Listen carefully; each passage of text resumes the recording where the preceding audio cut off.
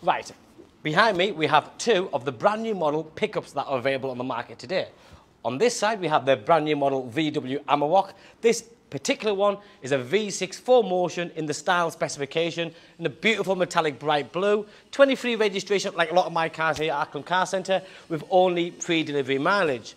On this side we have the brand new model Ford Wildtrak, what you call the Ford Ranger. Again a cracking pickup. Brand new model with the new headlights.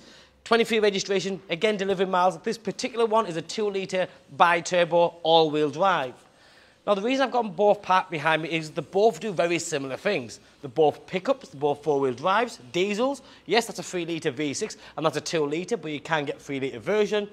But I just wanted to see what your take was on the way the styling is. Is it just a pickup, or a bit more than just a workhorse? Because I think they're very family-friendly, they're up-to-date, they're modern, they look absolutely awesome. Both of them. If I was a, a buyer of one of these type of cars, and I come across this with the styling of either or, I just think they're a wonderful thing. And they do such a great job, remember. The ground clearance on both of them. You've got all the LED styling with the headlights, front and rear. The huge grills, big bumpers, all colour-coded, fog lights, front rear parking sensors. Yes, they will have a little bit of separate specification. Like this one's got the 360 camera system. You can get that on the Ford, by the way, with the extra pack. But then you've got upgraded wheels. Now, this has got the premium pack on, which gives you the 20-inch diamond cut wheels and a few of the extras on the inside. But all the colour-coded arches, I just think they're brilliant. But come this way, let me show you something else quickly, because in the back, if you're buying a pickup, there's a good chance you're going to have great use for this. Now, that might be once you put a, a snug top on the back, like a carry boy or a slider, do what you want because you can fit so much to them. The first thing I notice on both of them is how light the tailgate is. This is brilliant, and I mean, when I say light, it's one finger, like, it's that light, and that's good because you don't really be struggling. This particular one has a ruler on the back, so if you are going to use this chopping wood or whatever it is, measuring stuff in general, nice.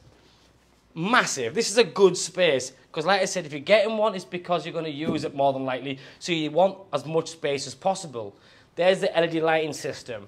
And that's this one. You've then got the chrome bar, which comes all the way across. This one also has the bars in the rear, but then you've got the railing, which you can tie things down to.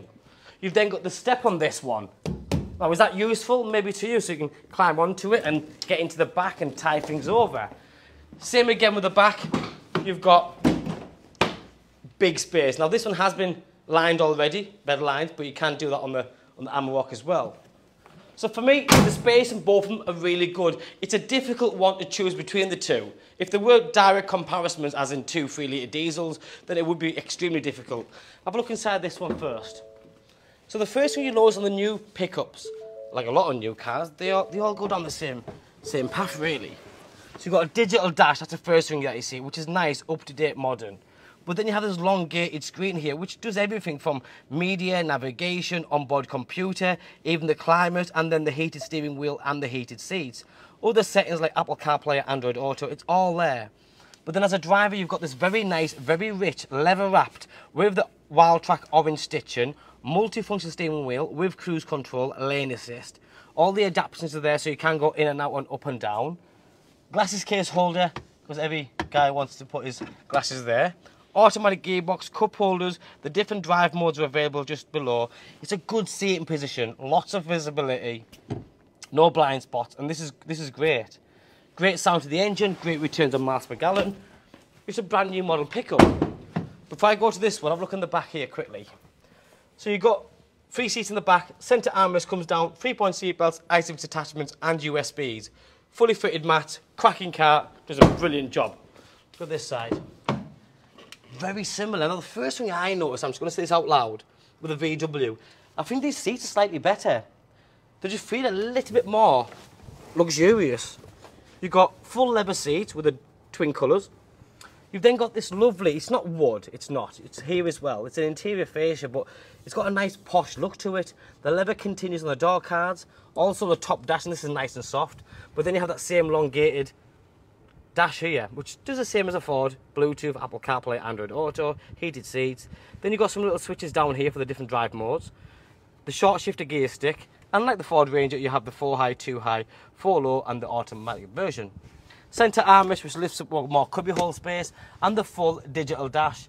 And a bit like the Ford again, very nice soft leather on the steering wheel with the flat bottom steering wheel, and you have got cruise control, Bluetooth, and the rest on there. As for the back, same again, three-point seat belts, lots of space, fully fitted mats. Now these two cars are physically available. Look at the back of this. You put your phones in there, or your iPads, do what you want. Nice little touches. But they're not just a workhorse anymore. They're fabulous motors, tow bars if you need them, side steps. For me, aesthetically, they both look stunning. It's a case of which one do you think is better? Don't get me wrong, in the right colour with the right spec, I'm sure they all are absolutely amazing. But for me, the brand new pickups are no longer just a pickup. They're very nice, they're expensive, but they do a cracking job. Now this two that I've got behind me, they're physical, they're available. So if you like what you see, go on our website, Acklam Car Centre. There is others available as well. My name's Joe. Thanks for watching. Bye-bye now.